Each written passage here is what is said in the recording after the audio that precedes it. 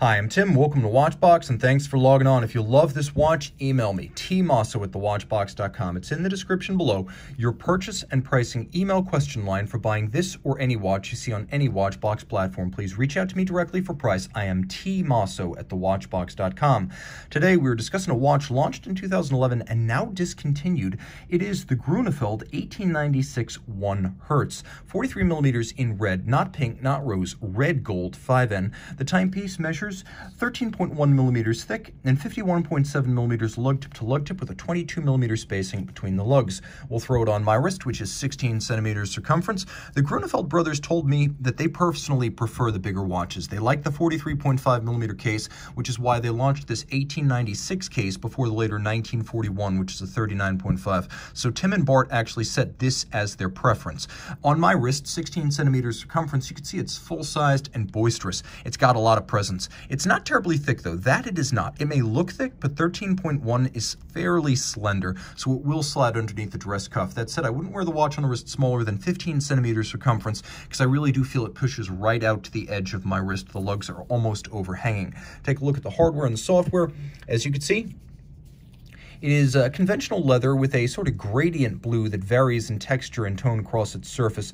We have a sheer cut side, a slightly contrasting light blue stitch. On the underside, you can see bright orange, and it is a Grönefeld factory strap in brand new condition. Pull tab spring bars, so you can quickly and easily remove the strap from the case. And then we have a simple and handsome Grönefeld pin buckle. Note that it's both satinated and polished and handsomely branded. Jumping back to the case, the Grönefelds like their lug profiles. Both the 1896 and the 1941 cases have expressive lugs. These are stepped out, so think Lange with a little bit more delicacy in the taper, the curve, and the downward tuck. Uh, this is a handsome watch, and it echoes some stepped lug mid-century designs from the mid 1900. So while the watch is large, it definitely channels the past effectively.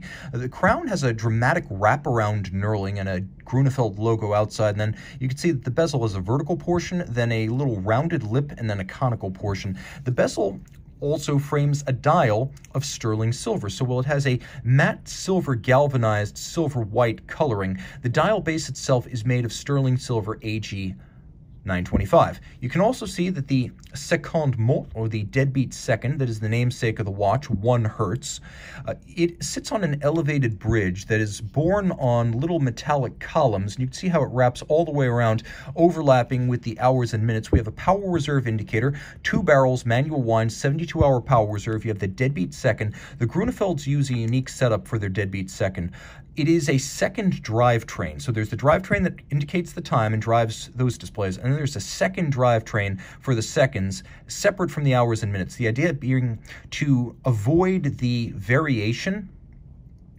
in timing precision that can come when the train is also involved in the loading and unloading of the deadbeat system. So we have a separate train for that display and for the time. You can see the hands are fired blue. All the hands are fired blue. Their centers are mirror polished over a mirror polished pinion. And we have a dual mode crown. I can put it in winding mode right here. You can see I'm winding the watch. You don't pull this crown, you push it. Now I'm going to push the crown, put it in setting mode. Note that activates a stop seconds or hacking function for the deadbeat.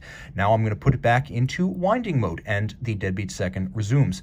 Turn the watch over, caliber G02, the second caliber created by the Grönefeld brothers after the monstrous GTM06 minute repeater. You can see that the bridges here are all made of stainless steel. Why? Because it's a feather in their cap. Incredibly hard to do. They show their Audemars Piguet Renaud Papi pedigree, and they achieve three different degrees of finishing on each of these bridges. So there's the media blasting internally, there is the satination along these upper channels, the ridges on the top, and then the very edges of these bridges feature a mirrored chamfer or hand-laid bevel or anglage. You can also see that golden chaton are used for the barrels as well as for the train, and that's a nod to the pocket watch era. You can also see that the shape of the bridges is designed to echo the traditional bell gable roof of old Dutch housing construction and, and building construction in Oldenzaal, which is the hometown and the watchmaking headquarters for Grönefeld. The watch beats away at 21,600 vibrations per hour, and it features a free sprung balance with variable inertia or variable polar moment nuts on the rim. That's how the adjustment is done. There's a Phillips Overcoil that allows the watch to keep even and accurate time in any position. And then, of course, you can see it's all free sprung for durability. It is a single sided balance cock. And if you look carefully, you can see that there is a secondary escapement with a secondary anchor and pallet jewels that is used for the deadbeat complication. There's satination on the wheels, engine turning on the base plate. It is gorgeous. 39 jewels and adjusted in six positions, all of that 30 meters water resistant. Reach out to T. Mosso at thewatchbox.com for purchase and pricing details of this Grönefeld 1 Hertz.